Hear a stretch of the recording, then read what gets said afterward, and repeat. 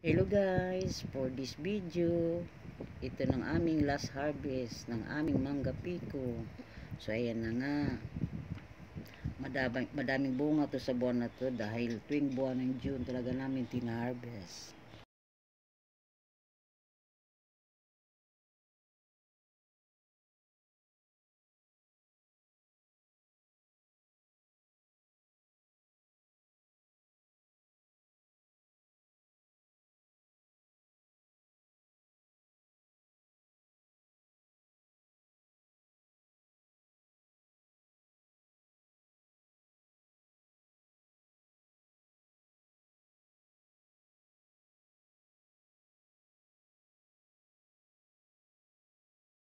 So ayan na nga. Thank you guys for watching. Hanggang sa susunod ulit.